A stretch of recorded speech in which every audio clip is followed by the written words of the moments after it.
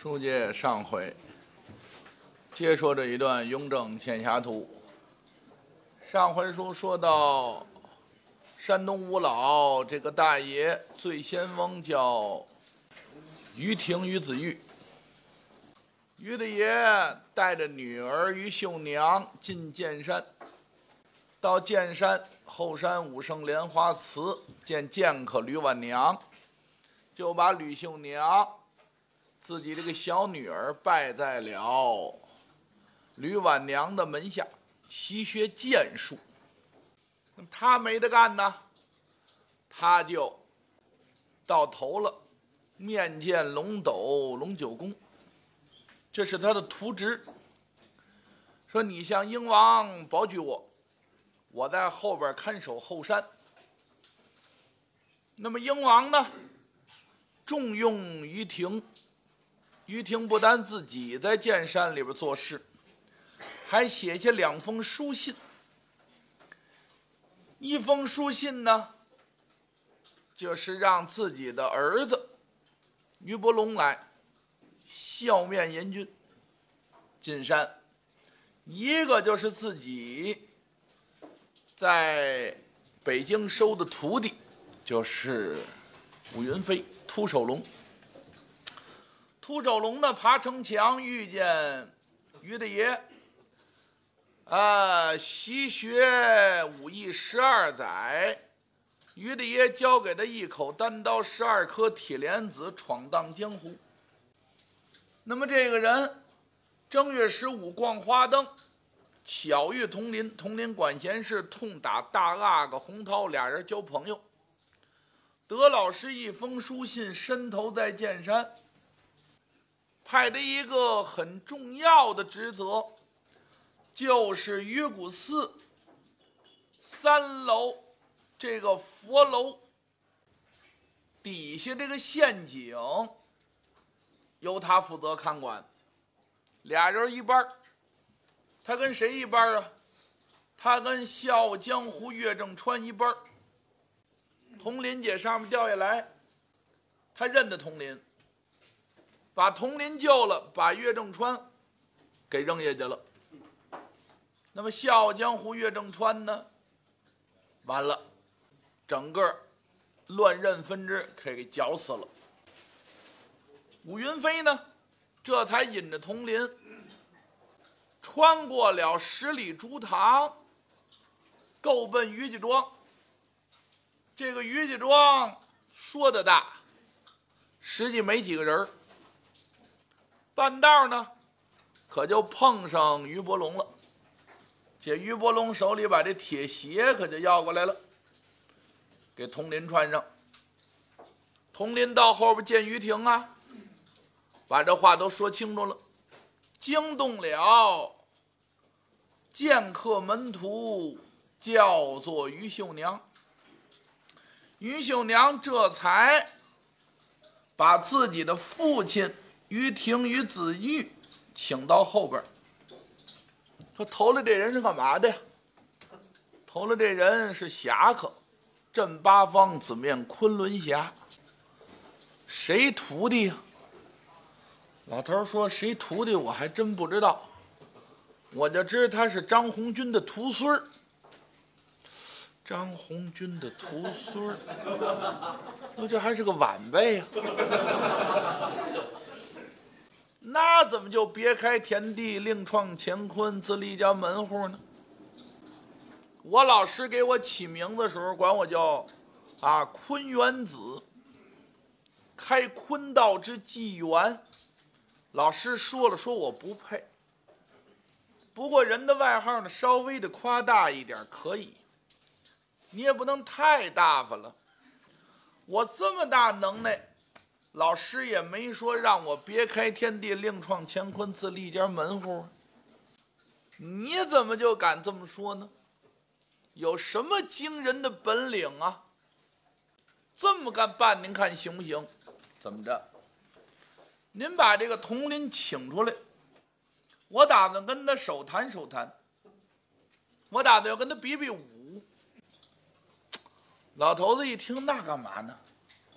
人家远来是客，这个童海川私探剑山，他是有他的事情，可以说是公务在身。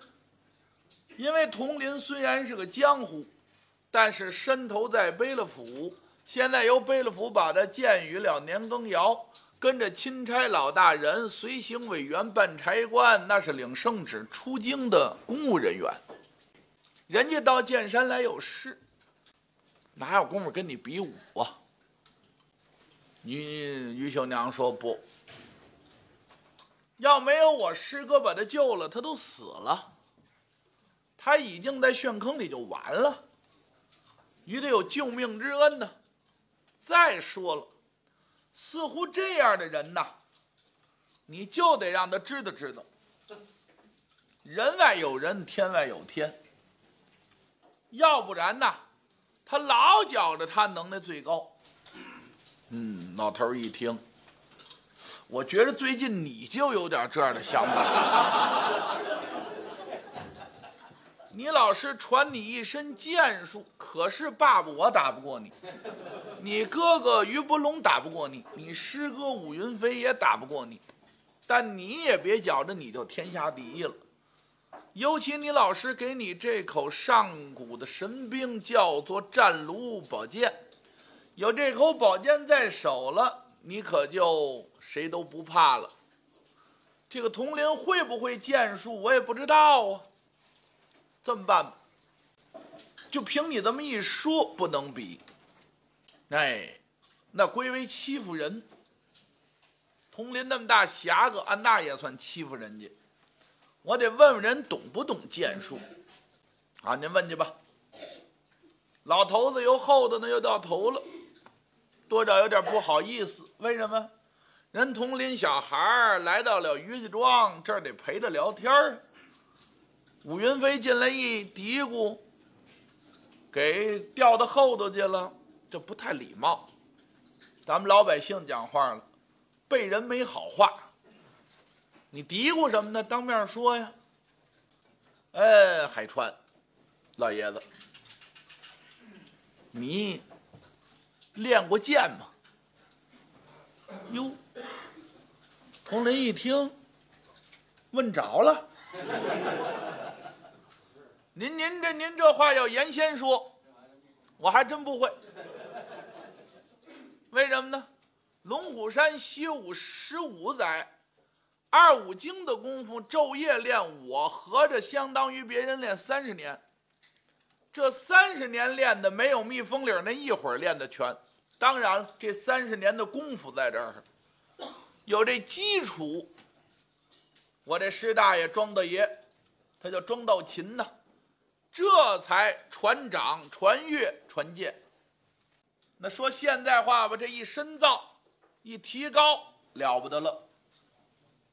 那么人要练到一定份儿上，就是一层窗户纸。你什么什么也是这样，尤其像我们这艺术类的，更是这样。现在学相声、学书啊，跟我们小时候不一样。为什么现在您有电脑啊？年轻人都会这个。啊！一搜不是一位两位的，多少位的，甚至于全部的，都能搜出来。想听谁听谁。那你说有这么多资料可听，我小时候没得听啊。这么多资料可听，一听不就会了吗？也不然。你耳朵宽敞当然是好，还得有老师点拨。说我们行话叫博爷。这个。关键的地方，老师不说，一辈子也明白不了，就自己愣悟，能悟出来，也不是不可能。我认为也有这样的人。为什么呢？就是老师的老师的老师的老师的老师的老师的老师，他总有上面一个没老师的。就当初最早悟出来那人，哎，就跟这个牛顿似的。他坐在苹果树底下，他就能够悟出来这个地球会是有引力的。为什么这东西都往下掉不往上掉？这个问题恐怕别人也想过，只不过没想明白。贪了人家就想明白了。打这以后，这个后世人都按照他这个思维去理解。那么有的人呢偏不计，我不按照牛顿这个，我反着来，哎，反这动力，这东西我就不让它往下掉，我愣让它往上去，哎，这又有新的科学领域。这样的人有，归为少数了，当然是，啊，那么也得是您会多少才能悟出来，得有基础。佟林呢，经过庄道勤这么一点拨，基础打得好，突飞猛进。也就是说，他这个武术啊，不是乘以二这么一翻倍，说这招数多了一倍，武术就强了一倍，不是，那是强多少倍？一下比原先。就厉害多了。那么，尤其他这口宝剑“秋风落叶扫”是一口宝兵刃，又在腰里边围着。打铜林得宝剑到今儿个，一共也没用过几回。护国寺战丑面佛，碰着杜清风了，实在打不过杜清风了，抛月亮剑，萧道官给杜清风砍了。杜清风一辈子引以为耻，就是这个事情。那么，公主坟日战三捷，啊，过力，落一病根儿，抛月亮剑。那这宝剑呢，他练得很好，但真说用，没怎么用过。这是可以说佟林的绝技了。哎，不到万不得已的时候不用。今儿人家于大爷一问呢。问到佟林心眼里去了，佟林暗暗得意，说这人有涵养、有能耐人，他再有涵养，你说的他得意之处，他总要带出点来，暗暗得意。哈，说是这个于老剑客、于老爷子，你们要问呢，啊，这个剑术我可不敢说我会。总是我有这么一口剑呐，也练过，呃，略窥门径吧，啊，那就行。这侠客说话都留着存粮呢，不能够自吹自擂、大不大懒的，啊，有一说十，有枝添叶，有叶开花那不能那么讲话。他要说略懂一二、略窥门径的，想必有点造诣，研究的比较深了。好，既是这样呢。我打算跟您商量个事情，乐意也在您呢，不乐意也在您。哦，您与我有救命之德呀！我身在剑山，没有您带着这徒弟，我完了。您说，我膝下有一小女，啊，乳名秀娘，嗯，今年二十八岁了，也呢学过几天武艺。这个听说侠客。到我们家来了，很兴奋，很激动，也是久慕啊，海川你之盛名。他是遇高人呢，不能交臂而失之，打算向您啊习学习学，跟您面前的讨教讨教。嗯，或是拳脚，或是剑术，他也练过几天儿那么您呢？从中指点，可不算鄙视啊。就说您看看怎么样？当然男女有别，好在呢江湖儿女，呃，不必计较这个细节，不拘泥小节吧。男女也可以动手比试。您要是乐意呢，我把我的小女儿呢请讲出来，你们二位啊练练。佟林一听，那这老头子这个生活过得很安逸喽。他在剑山后山这个地方渺无人迹了，嗯，除了他们爷儿几个，没有外人。那业余生活呢，也就相对的贫乏一点。我来喽呢，哎，这也算个新鲜人儿。新鲜人呢，咱们就得出点新鲜事儿，让姑娘跟我比武。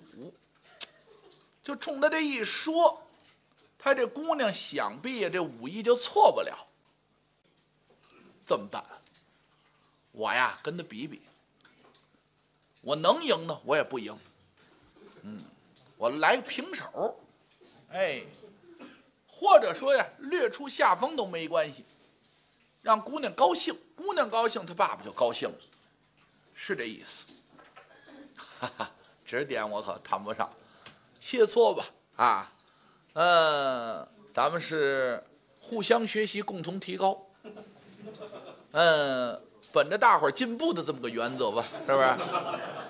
一帮一，一对红。这个，您那姑娘多大来着？二十八，哦，二十八，我四十刚过，谁问你？这个这个这个，虽然说呢差这么一轮是吧哈，大概一属性，哎，这个这个这个这个，呃，他他他练过多少年呢？呃，练了十来年，哎呀，连练带不练吧，反正也快二十年了。他八九岁跟我来的，是不是？给找了个老师，找了个女老师，教他练武。真跟跟老师练，就练了十年，后边这十年呢是带练带不练，嗯，就是自己瞎琢磨着练。哦，行，那就很很可以了。一姑娘家家的练到这份上，估计就不含糊。他想什么呀？武云飞呀，五十多了，武云飞是他徒弟。我们俩人啊，一跑这竹堂啊，我就知他怎么样。那照着自己呀。还差着一大块呢。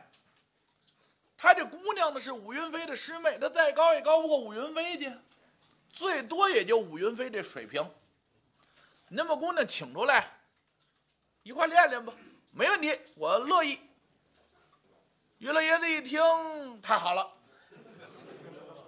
呃，你乐意可是乐意，咱还得说说，还还说什么？您叫姑娘去吧。回您二位一比呀。咱可不须反悔的啊！什么叫不须反悔的？就是不许耍脚，知道吧？嗯，什么意思？当然，您要把小女赢了呢，嗯，没话说。她年轻嘛，经师不到，学艺不高，让她再找老师练去。可万一啊，您您。知这个什么事情，他都有个万一啊！万一怎么着？万一他要是您有一招办事没留神，让我们这姑娘把您赢了啊！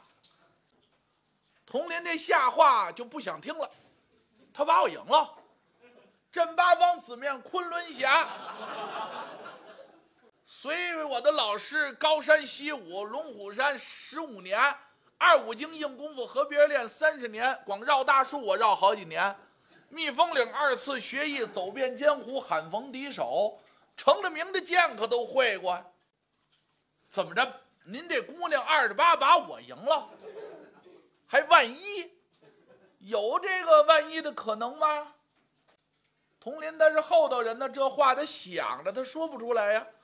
可是那模样带出来了，愣了啊！他要把您赢了，您可千万别过意。我是怕呢，都是年轻人脸薄，回头您在我这儿可是且。我这让姑娘把您赢了，好像我成心似的。我不恼，您您也多余，没没事，您放心。他把我赢了，他把他。他把我赢了，我好好跟他学不就完了吗？佟林没别的词儿。老头子一听，你老头那意思，这话你可别说，让他听见他可认真。一掀门帘进来了，哪位是童侠哥？这不明知故问吗？这屋一共就这么仨俩人他爸爸他师哥这还是作为紫脸大汉，那甭问这位童侠哥呀，哪位童侠哥？顺声音，童海川抬头观看，一瞧，哟，这姑娘啊，不施脂粉，乡下丫头打扮，可这长得不错，很端庄的，大大方方，啊，呃你要说于秀娘多漂亮，可也谈不上，不寒碜而已。但是呢，自幼从师学艺，他挨着这都高人。他爸爸呀，他叔父们呢，还有他爸爸这些朋友呢，嗯，来的没有那个俗人，尤其他这老师吕婉娘，那已然是带落神仙了，是不是？文武双全，所以把他调教的外朴内秀。哎，您别看乡下姑娘打扮，实际真说那个才学武艺更甭提，那比那个大家闺秀还高了。你比如说他这师妹，啊，三公主霞娘，那人又漂亮，武艺又高，她自来的从小是公主身份。有那么一种高贵的气质，她没有，很朴实的，但是就仿佛那个黄花梨紫檀的那家具似的。您上哪儿串门？您看黄花梨紫檀的家具没有上漆的，它天然的就不用油漆了，要的就是它这本色儿，倒显得它好看。您说这个啊，榆木的。您要到北京，过去京座的榆木大漆的家具很多，它那个榆木啊，你不给它上漆，第一，它没有紫檀那么大密度，它容易招虫子，虫子一咬咬一眼了，那就不好看了。它也为保护它。再有一个呢，它本身那个颜色也不美观，没有黄花梨紫檀的那么好看，那个纹儿，尤其在盘出来，是不是？当然了，手把件能盘，说大件桌子怎么盘呢？一大八仙天天抱着蹭，恐怕也不雅啊。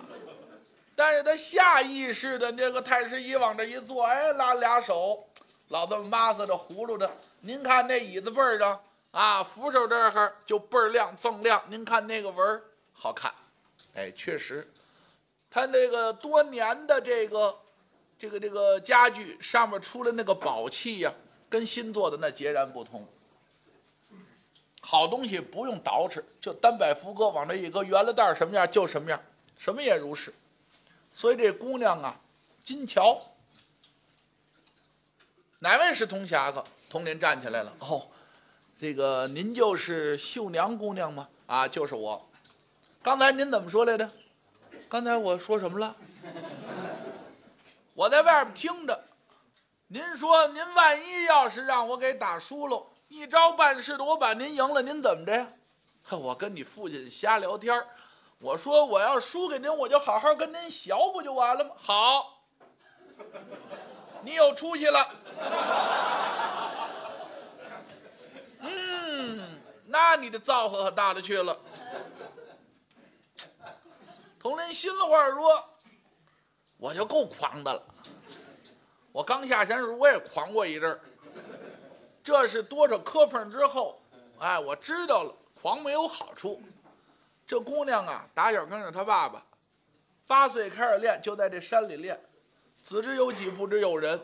她也没上外边动过手，她也不知道她多大能耐，把佟林气乐了。哈哈，是，呃，我输了我就跟您学，好，走，来咱当院吧。全出来了。武云飞看着乐，为什么呢？武云飞净挨打。武云飞跟于伯龙哥俩陪着这师妹练就没赢过，拳脚还好办，也就挨两下。真要说一亮这宝剑，那个剑气袭人呢，不好受。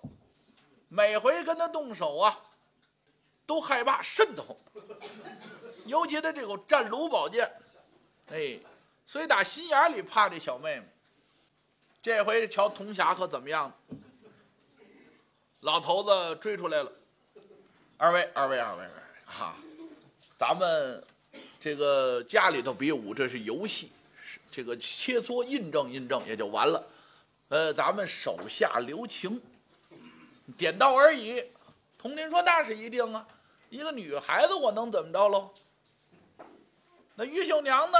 乐了，爸爸您放心吧，啊，跟他动手，我呢跟我这俩师哥动手不一样，我这俩师哥要跟他们动手啊，也就拿出两分的精神来。跟童侠哥动手，怎么着，我也得打点五六分的精神，卖弄出五六成的本领来。童林一听，跟我动手还不用十乘十的，五六成的能耐，那意思就把我打了。哦，这个于于于姑娘，呵，我这人动手啊不会留情，我还是全力以赴，那样最好，好吧？佟林前掌齐眉，后掌立肘，一拉这架势，于秀娘一瞧，罢了，他是高的，他跟自己的父兄经常切磋武艺。他爸爸武艺现在都没他好，他这俩师哥更甭提。行家一伸手就知有没有，一瞧童林往这一站，这架就知道他经过高人的传授，不错。柳叶棉丝把握掌，他得过真传，下过功夫。姑娘呢，粉拳在前，也亮这么一个架门，说了一声：“童侠客，你自顾放手一搏。”童林掌偏于秀娘，于秀娘闪身行，这手叼他的腕子，这手反手奔得咳了速，三个手指的黄莺掐速往前这么一递，这仨手指真要抠上，那是必死无疑。童海川但觉着一股劲风扑面，好快的身手啊！当时把一份小心打点起来，是全神贯注应战。绕着这姑娘脚步迈开了，柳叶棉丝八握掌，一掌跟一掌，这个掌法打开了，行云流水的一样，果定了于秀娘就在当院这么一练。老爷子于子玉跟武云飞爷俩这么一瞧啊，真得说大吃一惊。武云飞这才知道，平常妹妹。跟自己那真是闹着玩儿，自己相去人佟林太远了，一看自己的师妹跟佟林动手，那才叫好看。穿花蝴蝶的厢房，两个人一前一后，一左一右，闪展腾挪，俩人这一动手，看出于秀娘的功夫来了，老爷子也爱看。因为他不知道自己姑娘到底跟这剑客练到什么份上，拿铜林那就好比当个质子，比着点儿。但你要说就比铜林强多少呢？也没瞧出来，站的差不多平手。可铜林心里慌啊！铜林这八八六十四掌五十多掌过去了，没把人怎么样啊？再看人姑娘气定神闲。有攻有防，哟，他这现在是拿着五六成的能耐跟我打吗？我这可没留这量，我这个可是全力以赴。要真跟他说的似的，拿五六成跟我打，人比我高不少了。那对不起了，我得使绝招了。怎么？这二次学掌之后啊，又多六十四下，进步连环。这就一百二十八下了，平常用不上，那今天我不能输给他呀。跟着一变招，进步连环掌，一百二十八式，啪啪啪啪这么一加紧，就瞧佟林的是个人影了，越打越快呀。为什么？他这根基好，绕大树不白绕啊。佟林的脚底下最好啊，你倒不过步来，他倒过来了，他快呀。于秀娘比他还快，于秀娘一看他掌风一变，进步连环，娇喝一声：“好！”哎，这还有点意思。你看是不是？打游戏他得有挑战性啊。投了那三十来关都没什么意思，打越打越烈，越打往后打，哎，越来越有难度了，那才行呢，有挑战。这一百二十八式一打开了，进步连环掌。姑娘一瞧，这我得打点点精神了，这我得全神贯注、全力以赴的来应付他。姑娘也是以快打快，两个人身形走马灯一样，跟俩陀螺一样，可就转在一块了。像武云飞这个眼呐，就有点看不出招式来了。心里话说：这要跟我打，我早趴下了。这么厉害，童海川呢？一百二十八式全打完了，心里边有点慌了。再打还是这一百二十八式，那就没意思了。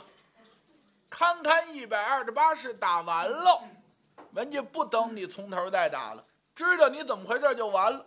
于秀娘这才纵身行蹦出圈外，不打了。佟林暗吐一口气，侥幸，他招也用完了，还真不错。要不然我得拜师啊。这打一平手，哈哈哈哈！佟林呐，紫面上微微见汗。嗯，为什么这一百二十八式除了练，真跟动手没用过，没用全过？今儿愣一套全打下来了。哎呀，于姑娘，不由得佟某人，我衷心的佩服您，能把我这一百二十八式进步连环掌全接下来。你我还占一个平手，这打住！童海川，你要脸不要脸？眼看你就没招了，我不愿意跟你打了，怎么还平手啊？啊！童林一听，你也没打着我，我也没打着你，不平手还怎么着呀？我不过招没了，这么说你还有招啊？您要有绝技，童某愿意奉陪呀。咱们可以再打，是你先跳出去的，我没认输啊。你把我打了，我认输啊。哎，您低头往您自己身上瞧瞧。佟林说：“瞧什么呀？你低头。”佟林呢，往自己的前心这么一瞧，淡淡的有七八个鞋印儿。后背上不问自知，也得有几个鞋印儿。他要不说不捋会儿，武云飞走到切近，这么一瞧，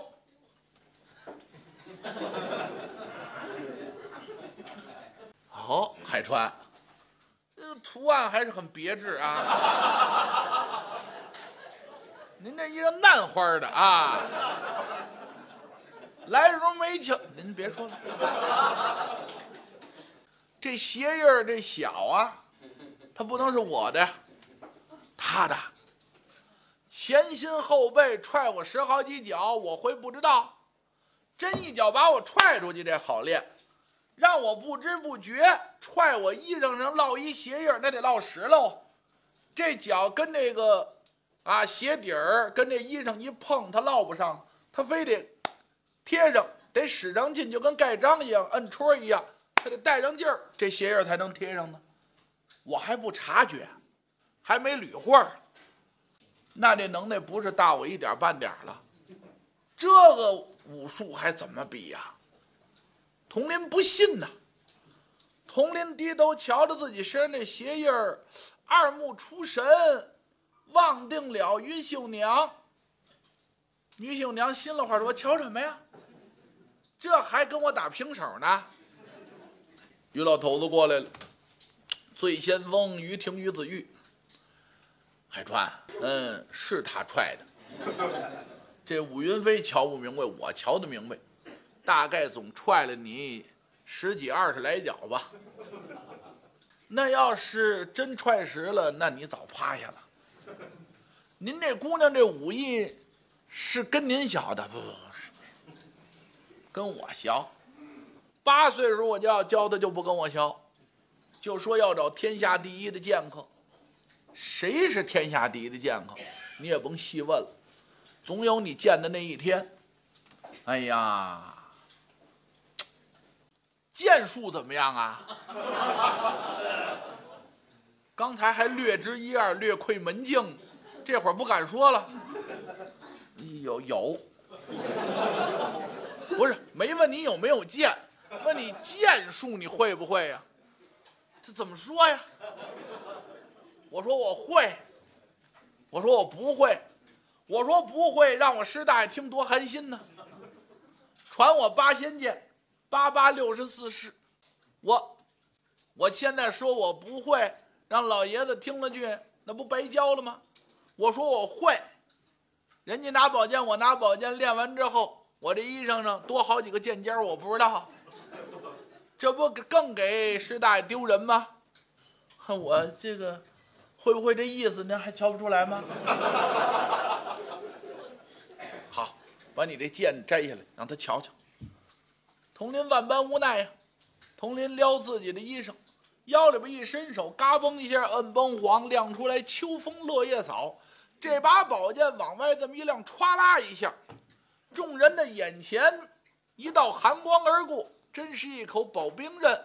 嗯，于秀娘一瞧，这把剑不错，想必这剑你练过几天？确实练过几天。好，丫头，拿我的剑去。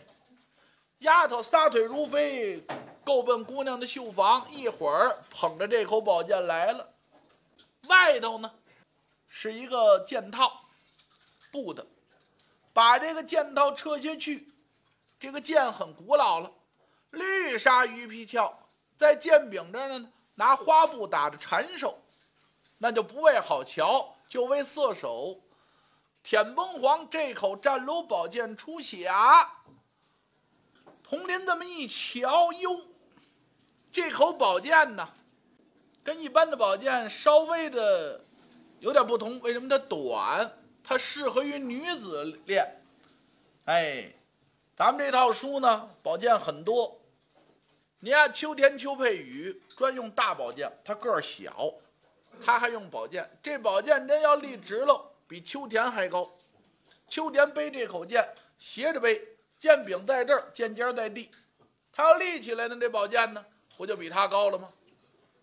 那么还有好几口宝剑都是长的、大的、出奇的，独单这个战炉比一般的尺寸还要短一点，三尺清风啊！这个战炉二尺七多一点，不到二尺八。哎，拿着手里都很秀气的，上边呢。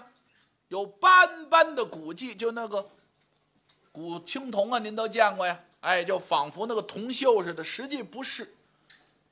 你别看上面好像有那印儿，实际没有。不过它这年代的关系，锋利一极了。这么多年，这口宝剑还是那么样的锋利。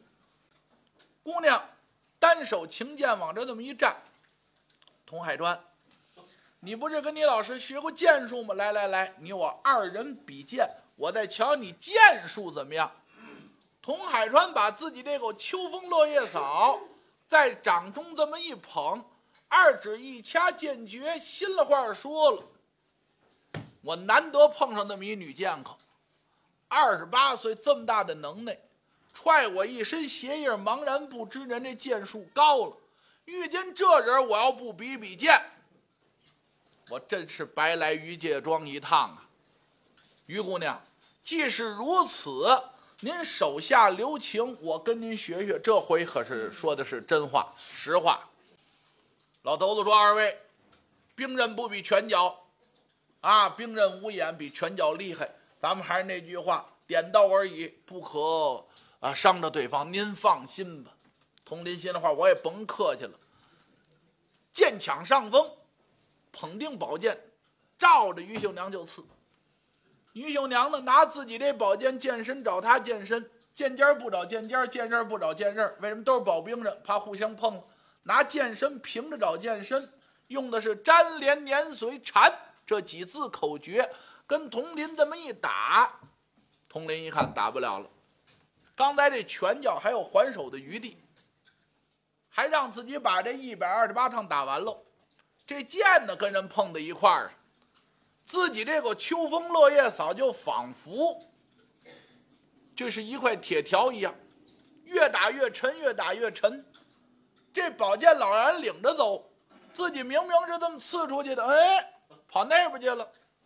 本来是奔下扎，又让给挑起来了，全部随心。那说怎么意思？他学的是不是八仙剑？是八仙剑，庄道琴。会半套八仙剑，这是阳手八仙。人家于秀娘学的是阴阳八仙剑，阴阳八仙剑一百二十八手，佟林呢会投了这八仙剑，八八六十四手，差着一半呢。人家姑娘这剑有阴有阳，他比不了。这得日后佟林天天跟于秀娘在一块儿，于秀娘传的这阴八仙，哎，那会儿佟林这剑法才算好。打这儿说。也就打了二十多式，佟林怯战，知道自己的剑术离人太远了，想撤剑抽身认输都来不及了。人家剑尖一顶剑尖拿宝剑剑身往下一压，他的宝剑紧跟着进步抬腿，这回可真踹，夺秋风落叶扫一抬腿，把佟林踹出去，啪嚓一下，佟林趴下了，嘡啷啷，宝剑落地。人家拿宝剑一挑，这风秋风落叶草往起这么一挑，伸手一抄，两口宝剑全给你下了，往外一蹦，完了。佟林爬起来，你你这刚才说那话说太大了，这会儿想认输都来不及了，宝剑人给下了，自己还给踹一跟头。于老爷子赶紧过来了，怎么样？海川没伤着，没什么，就踹我一跟头。怎么这么大能耐呢？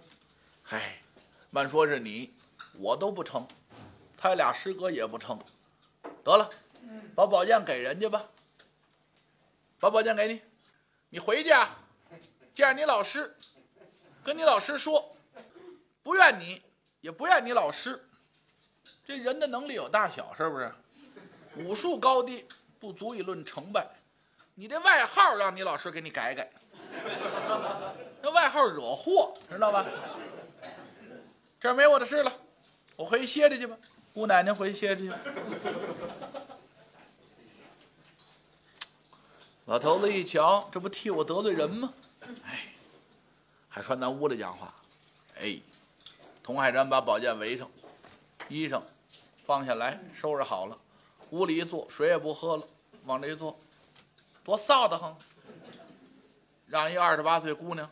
给这么大侠客打趴下了，宝剑都让人夺了。这要要我性命，往前一根步扑，斩撸宝剑，给我捅死了。怎么那么厉害呢？老头呢？一瞅，哎，你看，这么大侠客上我这串门，让我姑娘给打了，动心了，别扭了。哎呀，我怎么跟他解释呢？老头子这一想词儿，瞅着他。武云飞呢？瞅老头子。武云飞一瞧，哟，我师傅紧着瞅他干嘛呀？啊，我这妹妹二十八了，没法嫁人。为什么嫁谁呀？这么大能耐嫁谁呀？找一个匹配的、岁数合适的太难了。我瞧佟林挺好，一定是我师傅动心了。老头子看着佟林喜欢。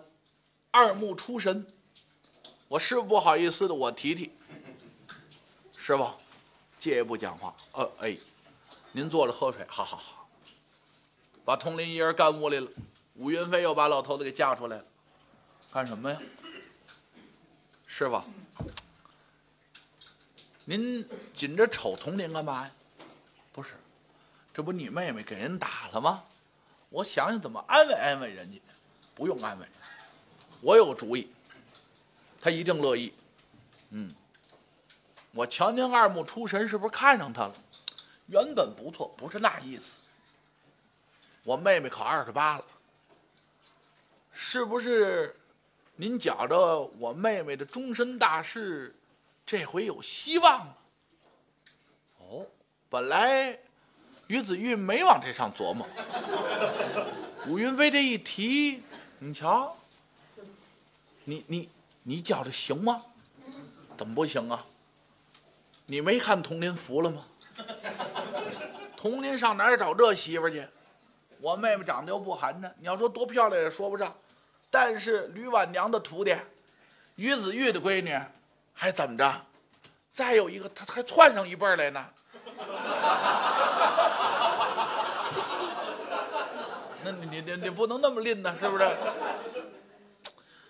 呃，这怎么跟人提呀？这刚动完手，那怎么提呀？都是江湖儿女，我又与他有救命之恩，我们哥俩北京交朋友。我说老大哥，您要不好意思提，我提。呃，那你也稍微转点圈，这会儿生理这心里头正别扭，知道吧？回你进去，你回头一说不，您甭管了。爷俩又回来了。哎，海川喝水喝水，兄弟。他本身脾气也直，他也不会说瞎话。这个这个这个这个，我问你点事情啊，我的哥，你说，正格的，你哪年顺家出来的？一十八岁。哦，你因为什么顺家出来？提起此来，惭愧的很。哎，怎么叫惭愧呢？当着老爷子没有外人，你说呀？我是因为耍钱，耍钱误伤言亲。哦，因为耍钱，怎么会把你爸爸给伤着了呢？嗨，你要说这个是这好几年的事了。嗯同林就简单说吧，说不了我这么细，反正是啊。哪年上的龙虎山呢？说人家跑出来，我就跑到那儿去了。随恩师习武啊，一十五载下高山，啊，怎么三节一掌愁？怎么风雪入京师？怎么北高峰啊？打这杭州嘞，二打杭州嘞，贺号带花。怎么样的拿这个道宝二小，以往的经过，啪啪啪这么一说，什么八卦山的铁山寺、玲珑岛啊，都是热闹地方。那么你跟着背了爷走南闯北，又保着钦差老大人、四川公干，这个贵宝卷都在哪儿呢？都在贝勒府呢。哦，是是是。那么。我这个老伯父、老伯母烦您惦记着，倒是身子骨硬了。是是，那么跟前除了您，呃，还有我个兄弟，我个兄弟帮着照顾，那就是了。总要有一个尽孝的嘛。啊，父母在不远游，游必有方。兄弟你出来就委屈这个弟弟，他就别出来了，是不是？在家伺候老爷子、老太太。那么这个。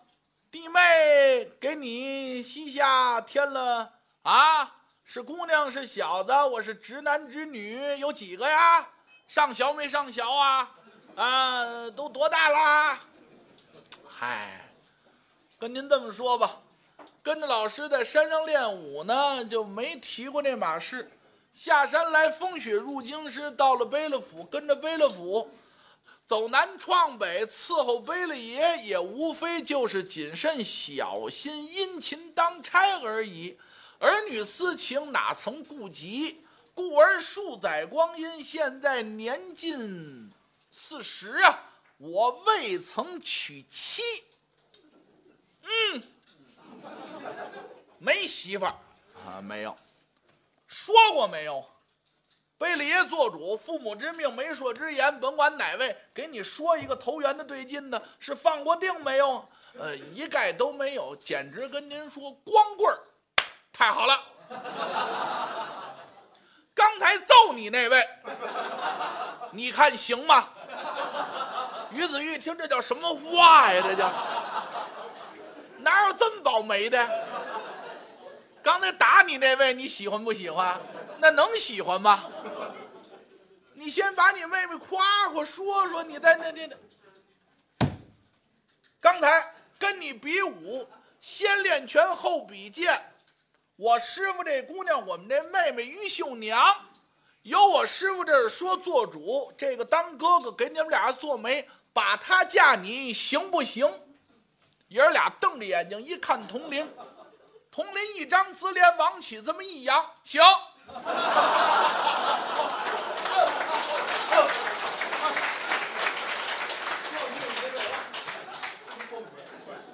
那说这么快就答应了，答应了，这还不答应？说佟林就不多想，没有什么可想的。一个是佟林这岁数到了，得结婚了。您说佟林不傻不年，就没想过娶媳妇的事儿？他也没碰上合适的。这媳妇这么大能耐。我要能跟他成了亲，我得长多大能耐呀？哦，您这姑娘给我了啊？我们老爷子说了，给了您了，你乐意不乐意？我乐意，乐意愣着什么呀，兄弟？赶紧拜岳父老泰山呐！童林没拜过呀，童林站起来了，一倒地，哎呀，这这，别拜，你乐意了。这云飞这嘴太快，你知你妹妹乐意不乐意？我让你问问他娶媳妇没有，先咱先打听打听。这还得问你，你妹妹要不乐意，那全白搭。啊，我我我妹妹，我妹妹这儿就得您去了，我不去。得了，你记着媒人，你辛苦一趟得。哎，吴云飞晃着秃脑袋奔后头，姑娘呢？洗完手，洗完脸，哎，擦擦汗，丫鬟这伺候着，正喝水，心里头盘算着，盘算什么呀？也不老合适的，嗯，这对不起人佟林，佟林那么大岁数，外边闯出个名誉来不容易，到我这让我身上踹好些鞋印儿，然后把把宝剑给下了，踹人一跟头，哎呀，这传人老师耳朵里头去啊，也不好。我这才叫以大欺小。别看岁数比他小，身份比他高多了。我老师教我练武，也不是跟人打架用的。怎么让我爸爸跟人解释解释？妹妹，啊，我跟你有两句话说。啊，您来吧。武云飞一拉门进来了。怎么着，师哥？是不是那位不乐意了？啊，那位乐意。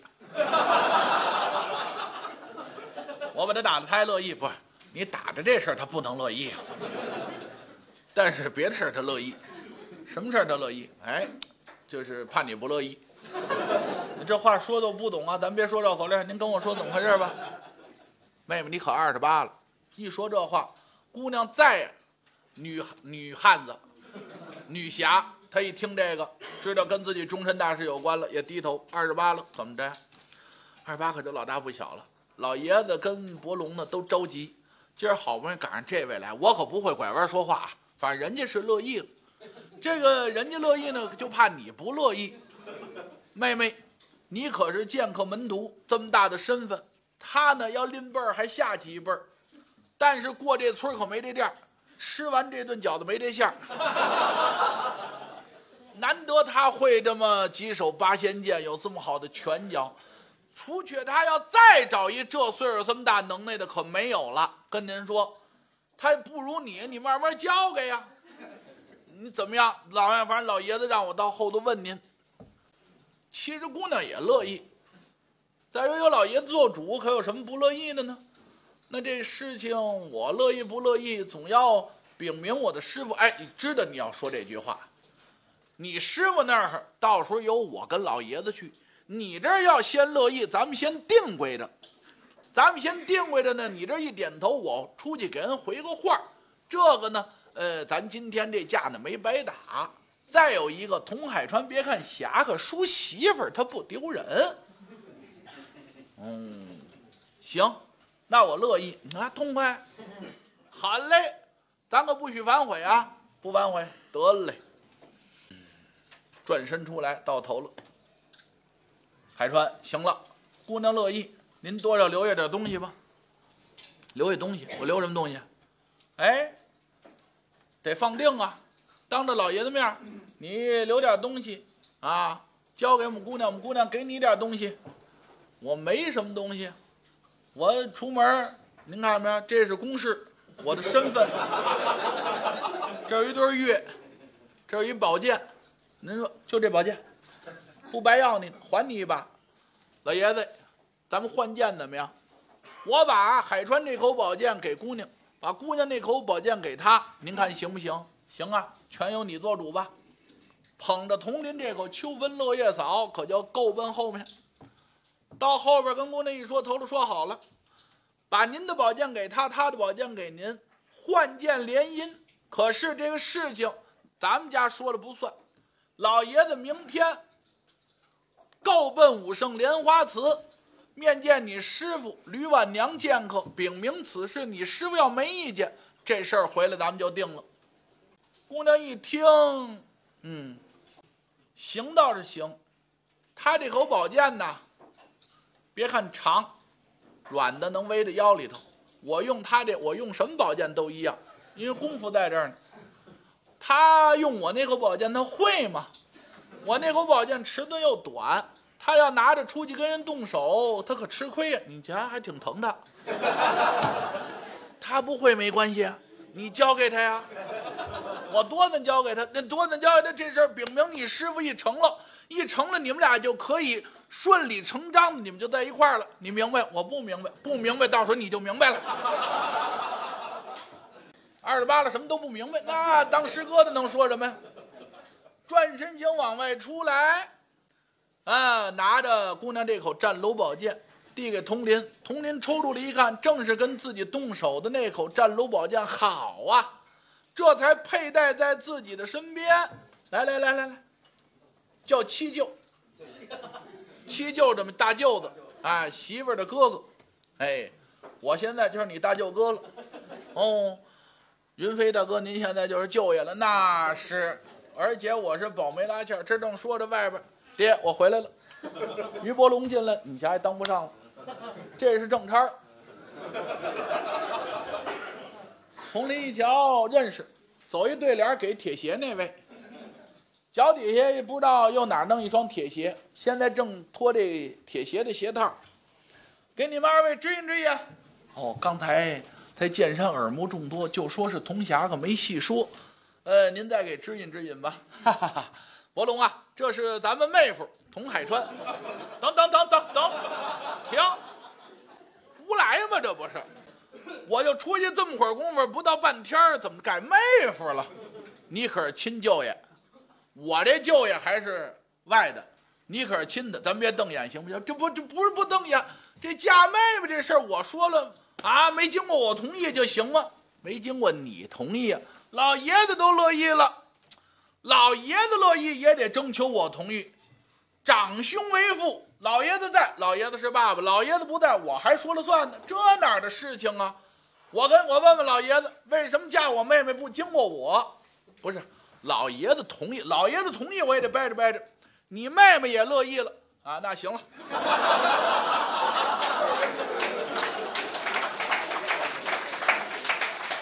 你你怎么不找妹妹掰扯掰扯？我找她掰扯什么？我我掰扯得过她吗？我掰扯。打这说海川，你是我妹夫，我是你亲大舅子。好，两位舅兄在上，受小弟一拜。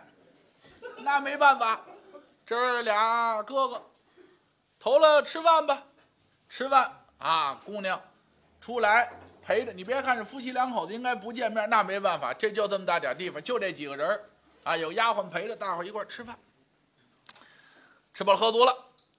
第二天早晨起来，够奔武圣莲花寺见吕婉娘。吕婉娘一听，给于老爷子道喜，说嫁这谁呀？嫁佟林、佟海川。这孩子我知道，啊，上我这串门的剑客，天天说这孩子多么忠厚，多么老实，武术多好，谁的徒弟我全明白。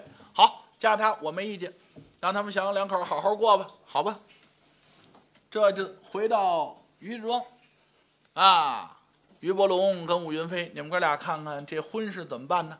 海川的公务要紧，要我说呀，咱也甭看日子了，就在于家庄就洞房，您看怎么样？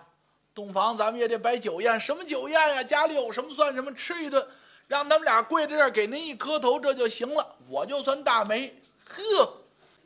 这么大的于秀娘剑客身份，真八方子面昆仑侠，这个婚礼可太寒酸了。也没什么，也就是啊，山泉熬豆腐，竹汤里边掐点嫩笋，哎，也就这个菜，爆烟嫩笋，多搁点香油，也就这意思。哎，这个俩人一拜天地。洞房也没有花烛啊，什么彩轿啊，好应全没有，还是来这身衣裳。姑娘也还那身衣裳。俩人往洞房一坐，丛林瞧着于秀娘，心里话说：“我这怎么娶一媳妇儿，还娶你剑客？”哦，这我老师知道临阵娶妻，这不得说我吗？我保着年的人来，我 我这说不清楚。哎，人知道的说我们俩人比武联姻啊，换剑；不知道的说我贪花好色，瞅见人姑娘，我在这招门姑爷。他心里想啊，他这人不会说压话，他脸上带得出来。这个脸呢，挺严肃。姑娘呢，瞅着他。姑娘一瞧，人都说两口子洞房有说有笑，这怎么意思？看着我怎么还凝眉瞪眼的？啊，跟我比武啊，打不过我。身份比我矮，辈儿比我小。现在夫妻两口子了，要震一震钱刚。今儿先给我来个下马威，要不这以后这后半辈子日子没法过了。那意思呢？今儿晚上洞房，哎，对我这态度呢，就要严厉一点我说夫啊，天色不早，咱们是不是该歇着了？佟林一听这话直冒火，你看来了不是？我怕唠这个好色贪淫，歇着算怎么句话呀？啊，您先睡吧，我不忙，您早歇着。童海川，你什么意思？夫妻两口子，什么叫我先歇着？咱不睡觉啊？啊，各睡各的吧。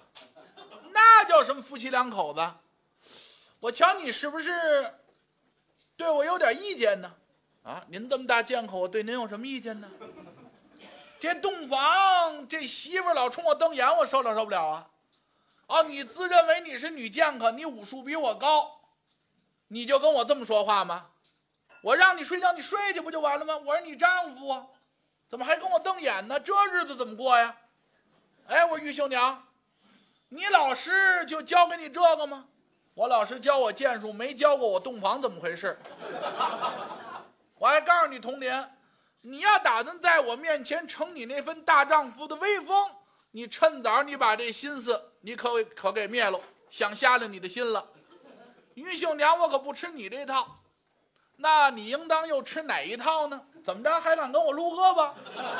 咱俩当面。佟林一听，我打不过你，我也不能含糊你这个，让你打死不能让你把我吓死。这外边有闹洞房的，那个亲爸爸亲哥哥不能来，有一武云飞呀。武云飞心里话说，怎么着也得给贤弟的洞房里边热闹热闹啊！啊，他头着陪着老爷子喝点酒，我后边我闹腾闹闹腾，还就你一人闹什么？闹也得闹腾闹腾，哎。这个三天不分大小啊，咱们这正说着呢，一听里边话茬不对，俩人呛呛进来了。那洞房能随便进，拉门就进来了。哎哎，我二位二位息怒息怒息怒息怒，怎么意思啊？怎么洞房打起来了？哥哪有他这样的？哪有他这样的？您听说那话像话吗？我说咱们早歇着，他告诉说让我先睡，让我一人歇着。您说这像话吗？佟林心里话说：“哎，我说这个，咱还是云飞大哥，咱别叫大舅子。不是这新你们家这姑娘新婚洞房就跟我瞪眼，仗着她是剑客门徒，武艺高强，我这后半辈子没法过呀。我这本来心里头就不踏实，这叫临阵讨妻。再有一个，我不愿背一好色贪淫的名字，这日子咱们过也行。咱先说好了，行不行？”咱们是有名无实，单等建功立业，见着我老师把此事禀明之后，禀明了钦差老大人，禀明了背了爷了，那时候见着我父母了，把这话都说清楚了，我们俩人才算圆房。到那时再有鱼水之欢。姑娘一听，哦，为的是这个呀，看你自己跟我说不就完了吗？你出去。哎。吴云飞一晃秃脑袋出去了，我多余进来。童海川，这话你跟他说干嘛？至今不过夫妻，你跟我说不就完了吗？嗯，这么着，咱们守一个礼字，别看咱们俩夫妻两口子都洞房了，你说不圆房，咱就不圆房。呃，单等见着你的父母，我那公婆，你的老师，还有钦差老大人，北京的贝勒爷，你把该说的人全说明白了，那时再来迎娶我，咱们二次完婚。哎，是这话。行，睡觉别忙。怎么又不睡了？哈哈哈哈哈！嬉皮笑脸的，有话说。这个这个这个这个。拳脚先不忙，这个剑术啊，实在我跟您相去甚远，差太多了。这个咱们啊，夫妻，咱们呢又不圆房，你得干点忙啊。那惹定啊。呃，打今天开始呢，您您您教教我怎么样？教你啊啊，不，你这。忒笨呐！啊，你行不行啊？那您在乎我的努力是不是？交不交代您，学不小待我？您看我要是可造就之才呢，您多教我两招；您要看我不灵呢，少教我两招。好歹的，您教点我，比原先不就提高点吗？行，那咱们先把你练的先来一遍。哎，那个亮别亮宝剑，洞房亮宝剑干嘛？啊，这个兵者为凶，是不是？拿筷子，拿筷子。那不有合金酒吗？也有吃碟儿，有俩小菜儿摆着筷子，拿筷子拿筷子比划呢。一双筷子，于秀娘一只，童海川一只。你练的也是八仙剑，我怎么瞧你练的不对呢？嗨，我这八仙剑，我这师大爷学的就不老地道的。教的时候就说来着，啊，就就就就说过，说这遇以后遇见高人再再补学。是你先来一遍。拿筷子这一教，这不对，这不对。这么着，我那个先别教你，我先把你这不对的地方先都练过来。哎，好吧，可了不得了。于秀娘洞房传剑，拿筷子当宝剑，一教童林。咱还是那句话，童林本身武艺就好，不过一层窗户纸而已。到天亮，童林把自己原先这个剑术已然就有所悟了。好多剑招我就明白了。我试试您这口战炉怎么样？好啊！推剑至摁崩簧，插了啷，战炉出匣。手捧着剑炉来到当院，把自己所练的八八六十四手扬手的八仙剑又练一遍。于秀娘一瞧，昨天他跟我动手要这点意思，我要赢他，还得费点事。练完了，不错，你这。八八六十四手练到这份上，慢慢练，总有练成的一天。那您那阴手的那个八仙剑呢？那你也学啊？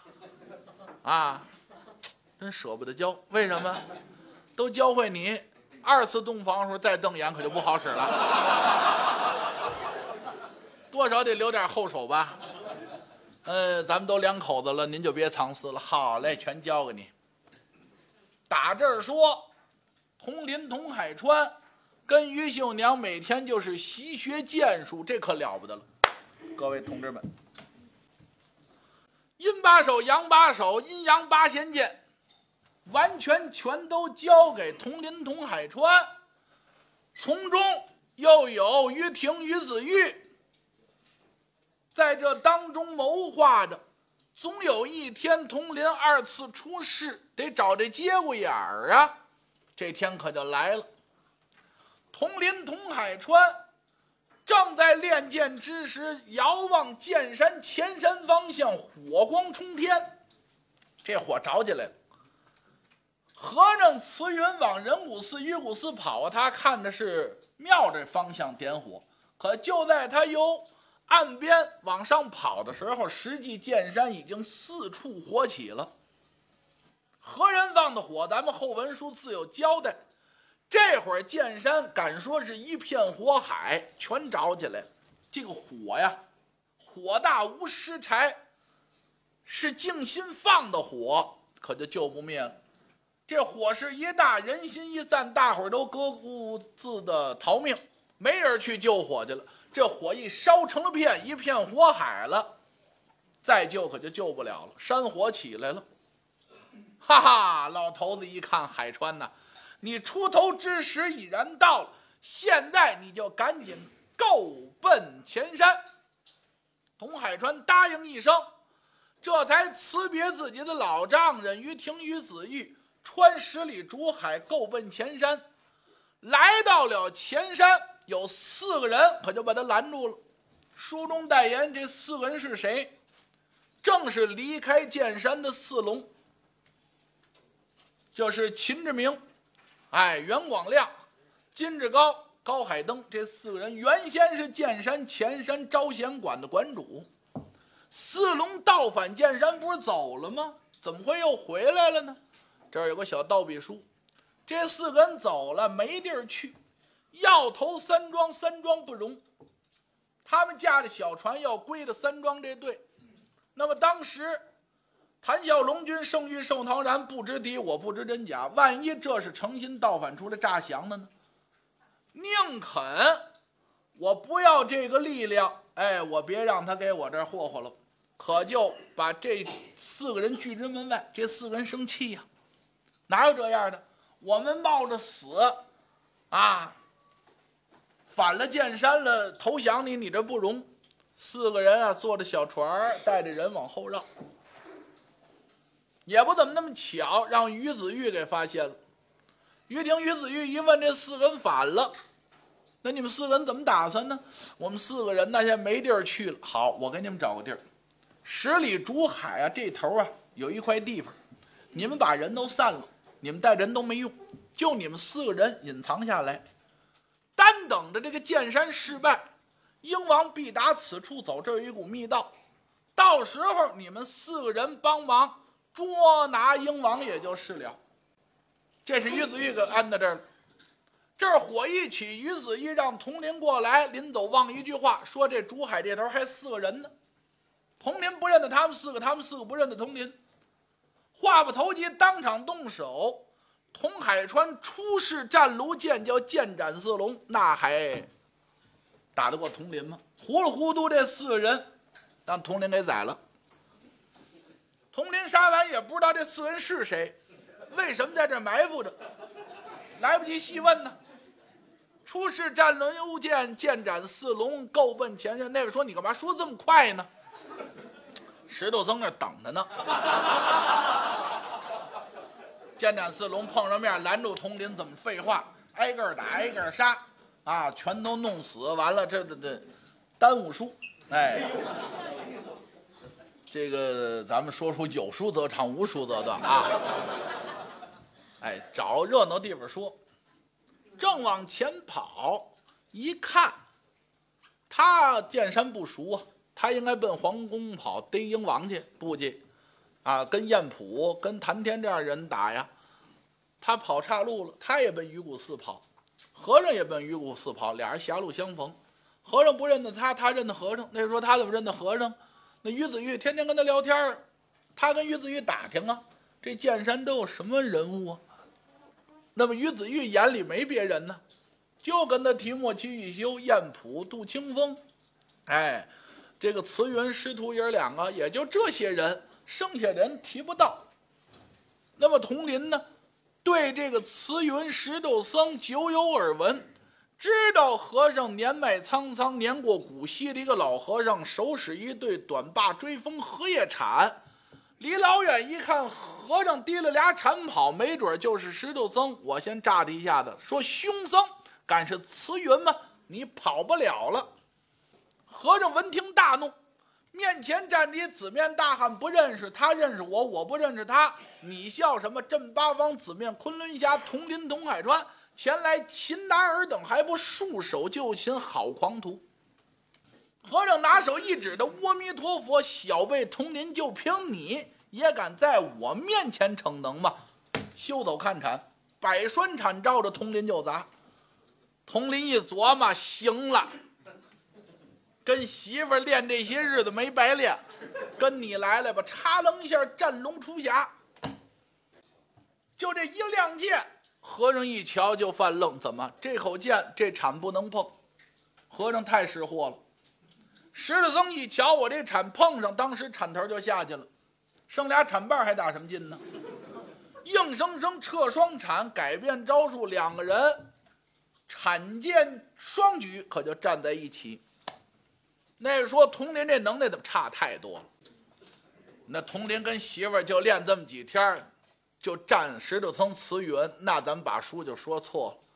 石头僧慈云跟他师爷珍珠佛董瑞打平手的主，那一般的剑客在慈云面前都不成，何况佟林呢？佟林第一新学的剑招，第二仰仗着手持利刃，这都加分儿。和尚心里又慌，那儿刚打完一仗，这儿来了，这儿着了火，眼看见山失败，心里头发慌，就恨不得一铲把他拍了，赶紧那救火去。打的又起急，多方面的原因凑到一块儿了，就算占个平手，但是越打石头僧慈云越占上风，越打石头僧慈云越厉害，双禅舞动如飞呀。可就是功多手少了，佟林呢又换的小宝剑，要那口秋风落叶扫呢还使顺了手了。这口小宝剑阴阳八仙剑一百二十八手，跟和尚这么一打呀，没把和尚怎么着。佟林起急了，尤其和尚这力大无穷，天生的神力，七十载整世童男，这个内力深厚，非是佟林能敌的。佟林一看坏了，逞一时之勇，仰仗宝剑跟和尚这一打，我还输和尚了，难免佟林怯战。宁死的手也不能跑啊，咬着牙一努劲。您要知道，佟林有一病根儿，佟林一过力就要吐血，这血吐过没有？吐过一回。亮标会上吐了半口，还剩半口没吐干净。其实呢，亮标会上呢，这个于成手快，抄起来给他抄跑了。于成手要不快，那后半口也都吐出来了。老侠于成一看兄弟吐血，着急，过去啪啪啪一点，按着穴位把这血先闭住了。他怕他失血过多受内伤。实际这口血要都散出来，佟林这病根就算去了。老侠于成呢？上的擂台，把他这半口血憋回去，一抄的，把他给抄下去了。打这儿说，佟林呢，当时痛快了。您琢磨，这一口血吐半口，他比不吐强，可还有半口呢。这一过力，这点淤血又往上顶。佟林就觉着五脏六腑翻江搅海，俩眼直冒金星手里这口宝剑剑沉。再看和尚这秃脑袋，可就四个了。一看要坏，自己过力了，这口血往上顶，嗓子眼发甜，嘴里边发苦，知道自己要吐这口血，打丹田往上一较力，气较丹田，他打算把这口血气给压下去。这就是逆天而行。这人的身体你不能跟他反着来，他要吐你就得让他吐。佟林这一较劲，倒干了，这口气往上这么一掉，没把这口血压下去，反而激发，就觉着这口血已经到这儿，再想忍可就忍不住了，眼前一黑，一张嘴就跟剑打的一样，这一口鲜血啪，可就出来了。和尚呢，跟他站对脸儿。和尚这么大能耐，没想到这个。战船之上，让陆明瞻为什么扣一脑袋烟袋？也因为这个。这石头僧慈云呐，他没有临阵动手的经验。你别看他这么大能耐，他的武功太好了，功力太深厚了，但是缺乏临战经验。也就是说，尔虞我诈这些全不懂。他打十来岁跟着老和尚通法上人了音练武，练的七十，练六十年。这六十年，他就知道他师傅比他能耐大，别人谁也他也打不过他，跟他一动手就完了。真正说放手一搏的没有几个。那陆明斋这烟袋呢，正着下来了，半道一掉个儿，他就拿铲楞往外封。这烟锅子冲下，半锅子热烟灰扣到脑袋上，把他烫得够呛，当场落败。其实他那能耐要跟陆明瞻打呢，真打陆明瞻也未见得赢得了他。陆明瞻武术不在他之上。今儿跟佟林也是，久战佟林不下，他也着急，他脾气暴，恨不得一铲把佟林铲在这儿。一看佟林这口宝剑剑慢，心里边高兴，全是攻势了。为什么这双铲不敢碰他这剑？你这剑一慢，可就落空落太多了。佟林正在勉力支持，眼看就要得手，佟林宝剑往下一沉，身子往前一欺，这铲不就拍上了吗？哪知佟林张嘴吐出一口血来，和尚想躲可就躲不开了，这口热血没糟践，全都喷到和尚脸上了。和尚不知是什么呀，眼也迷了，而且这热血烫啊！怪叫一声，拿这铲石子搭花往外一推，护住面门。他把这铲呢，可就交到这儿了。双铲十字搭花交在左手，拿这僧袍啊，他睁不开眼呢。他这么一葫芦脸，倒霉了。佟林这个病啊，是在这口血上，眼前一黑，就这血顶的，这口血吐出去，这眼可就睁开了。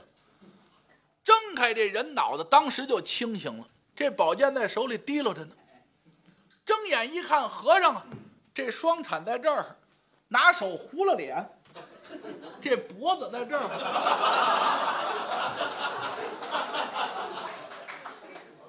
佟林心了，佟林不知道自己这血喷他一脸呢。佟林心里话：和尚干嘛呢？我不管你干嘛呢，脖子就在眼前，宝剑就在我手，那我还不往前刺？微微往前一探身形，一立这口宝剑，拨草寻蛇的架势往前一递。这宝剑剑口正在脖子上，战卢宝剑也快点和尚脖子也糟点就在和尚身后有一人怀抱金如意，口宣佛号都差了声了，阿弥陀佛！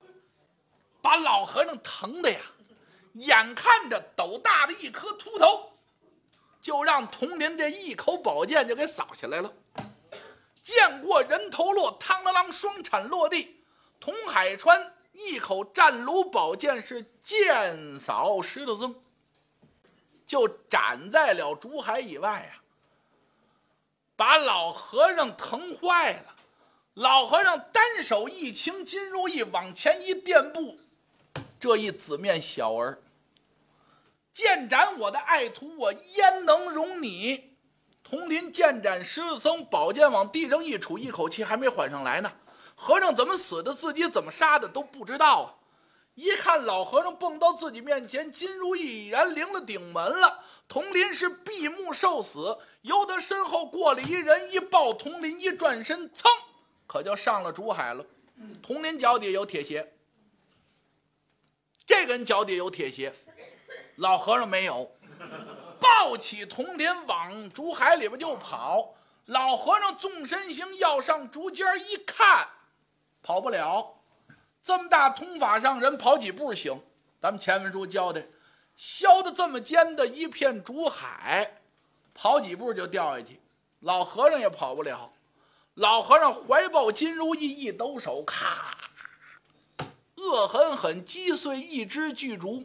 这才翻身行尸，铲挖坑掩埋石头僧，把自己的徒儿掩埋起来，遥望竹海方向，一咬牙，子面小儿，我要为徒报仇雪恨。什么人救走童林？是下回再说。